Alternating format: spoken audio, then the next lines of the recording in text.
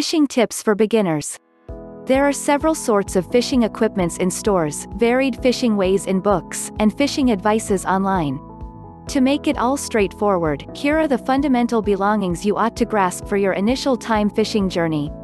Here area units several varieties of fishing equipments in stores, numerous fishing methods in books, and fishing advices online. To make it all straightforward, here are the fundamental belongings you ought to grasp for your initial time fishing journey. 1. How to fish with bait asterisk tackle. To plunk the bait, you want to purchase lead weights.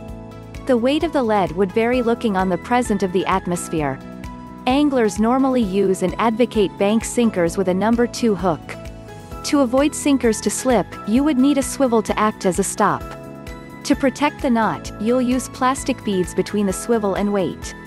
Using two acceptable swivels may permit you to rig the slippery sinkers. Asterisk bait.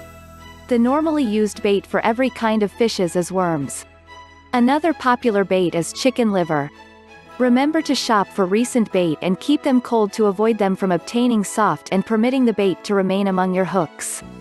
Some of the normally used baits are cut baits that embrace skin from cooked chicken, fish viscus, grasshoppers, salmon eggs, shrimps and crayfish tails.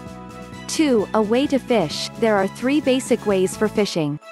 Asterisk plunking, it is the most common method used. Use an appropriate quantity of weight for you to be ready to take hold of the bait in an exceedingly position that is against any current.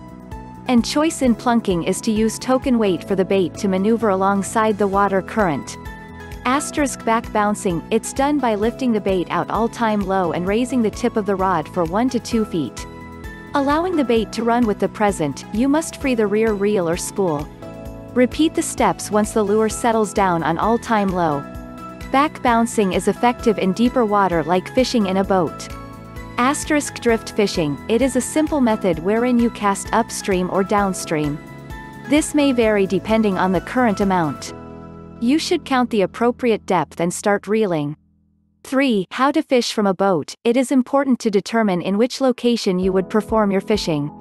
Deeper water needs heavier jig heads compared when fishing on shore. Asterisk with heavy weight which keeps your bait near the bottom of the water and the line straight down from your boat, you're ready to drift the boat alongside any current. A good technique of fishing on boats is angling slowly with a fishing device referred to as bottom walker.